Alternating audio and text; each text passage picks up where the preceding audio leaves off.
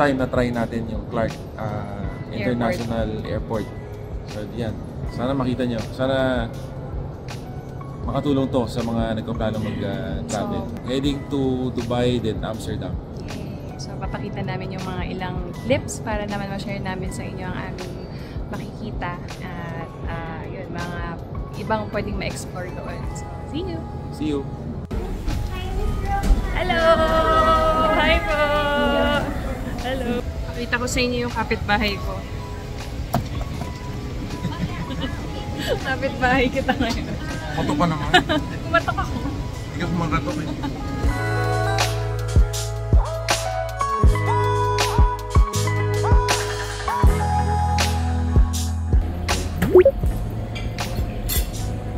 Good morning, Opa.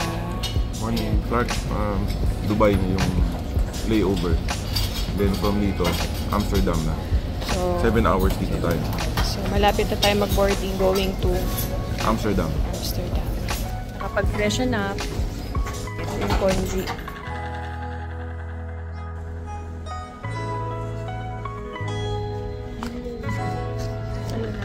Boarding na.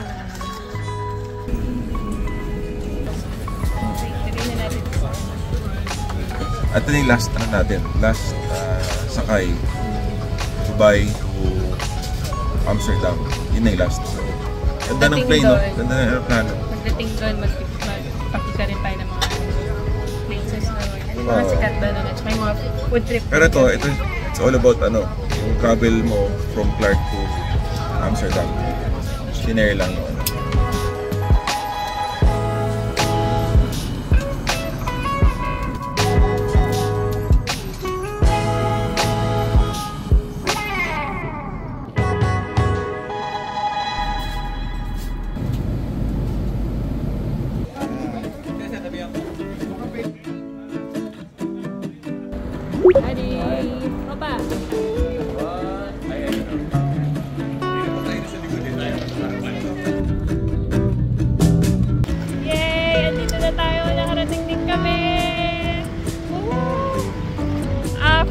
many hours?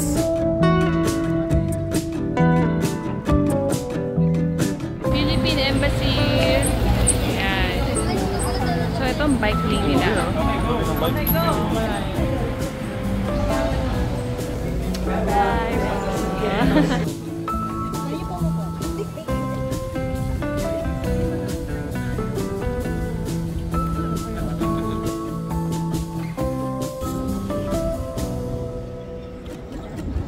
Cube House and House. Only in ano.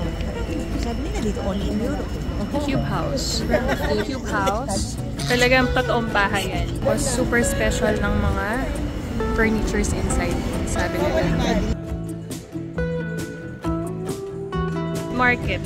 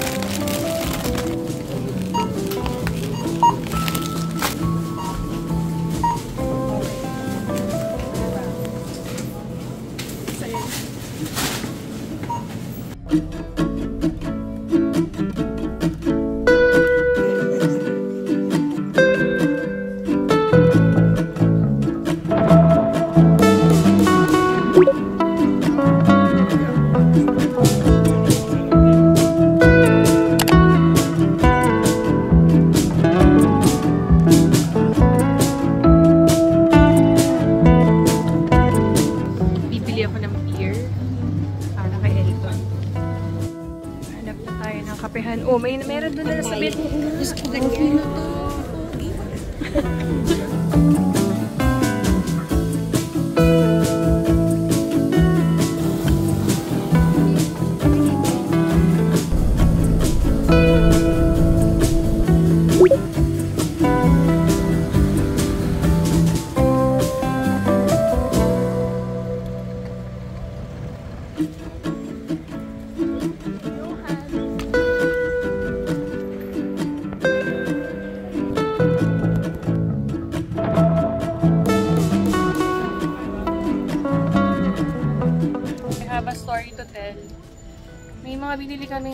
pampasalubong ni Elton. Tapos nandun sa huling store na pinuntahan namin, na-realize ko na naka, naghahanap na kami ng food. Wala yung shades ko. Tapos, habang bumibili siya, binalikan ko siya doon. And then, sa experience ko dito namin, so far natagpuan ko siya sa floor lang, outside the store. So, walang nag-attempt kumuha, walang nag-attempt magnakaw, talagang So, medyo matagal siya. Oo. Siguro parang may mga 10 minutes na siya. Binalikan ko. Ang galing lang. So, ayan. That's it. That's it. Happy eating! Ah, naalala kayo!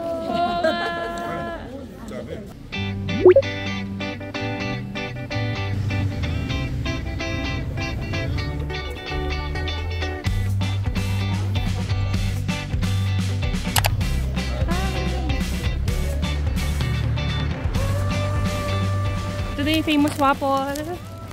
Famous waffle. Si Gerard. Yan.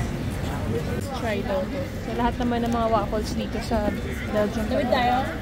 Masarap. Tawid tayo? Let's go. Tawid, tawid, tawid.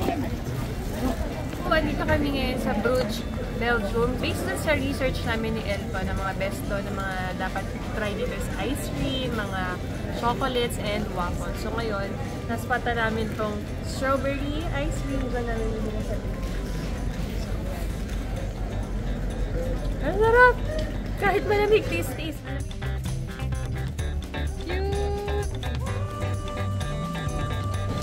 Dito tayo sa ano, the chocolate line. Ano to? Michelin star na bigyan ng mga chocolate. So, tingnan natin.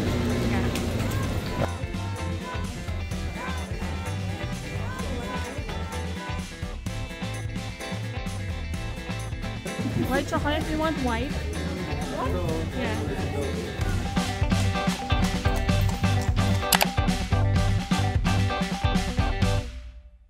Pupunta kami today sa Kickenhof sa Garden of Europe kasi I heard ngayon daw ang season ng mga bonggang-bonggang ano ng tulips yun. So, timing naman yung punta namin.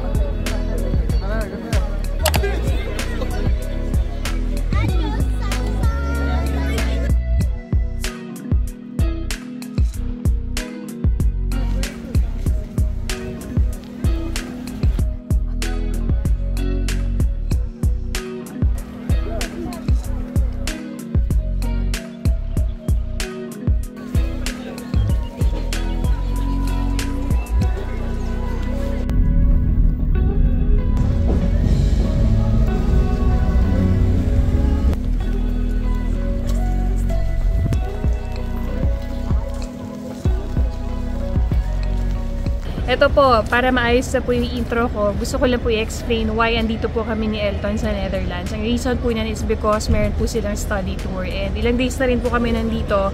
Ngayon po, ah, dahil medyo paulit-ulit na po yung mga food namin na kinakain dito, talagang nagka-crave na po kami ng Filipino food. So, may nag-advise po sa amin na mayroong malaking restaurant dito na Ayan po, Barrio Pilipinas. Dahil talagang gusto-gusto na namin kumain ng kanin at gusto ko na pong mag-extra rice. Gutom na gutom na kami lahat. So excited na kami na minsan namin ng sinigang na baboy, sinigang hipon, halo-halo. Yan, ito try po namin lahat.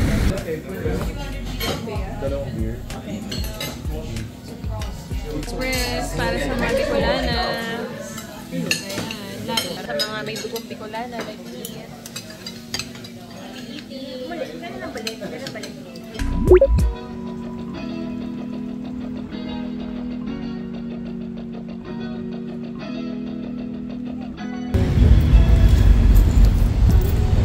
Oho!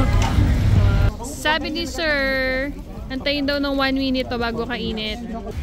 Mas masarap?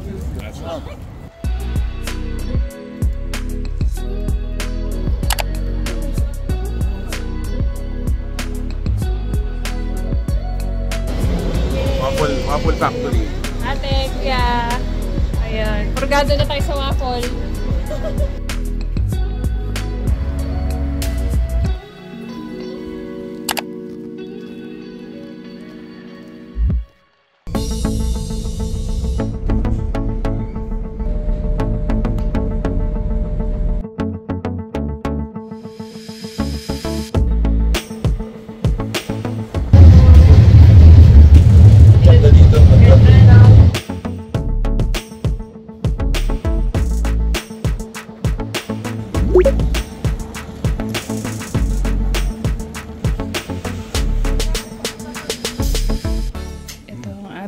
Hotel for 4 days and 3 nights. So, kinuha ni Opa yung may view ng Matterhorn. Ayan siya. So, meron kaming ganito.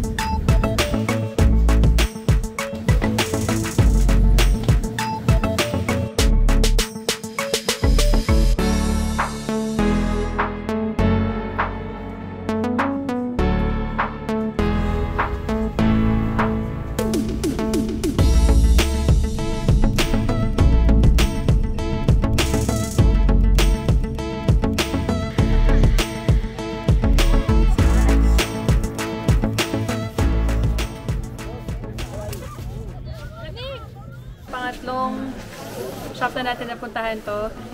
Ah, finally, nakakuha na ako ng size ko at nabot ng pa ako. Kasi ayoko i-risk ng mataas baka kasi ma-accident. Eh, may ma-accident na nasa ibang lugar. So, ito yung napili ko. Mababa yung kuhan. Then si Elton. Nahanapan pa siya ng size. Ma-achieve na namin yung kay Korean Vela. This is it.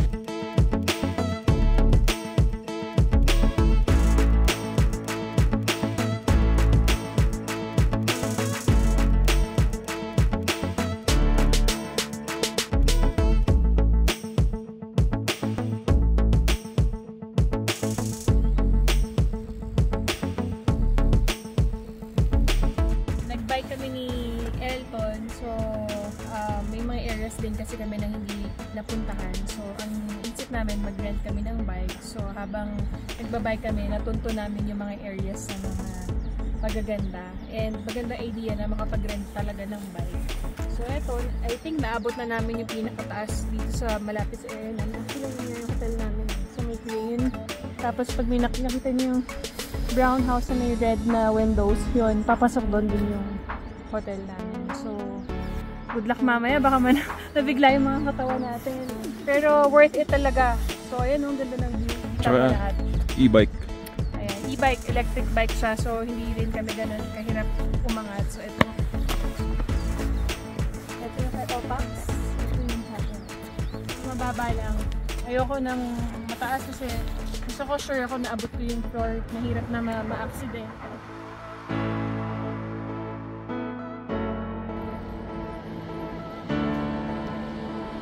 Maraming maraming salamat po sa pag-join sa aming journey dito sa Zermatt, Switzerland at syempre doon sa aming Matterhorn Adventure. And please like, share, and subscribe po sa aming YouTube channel and till our next trip!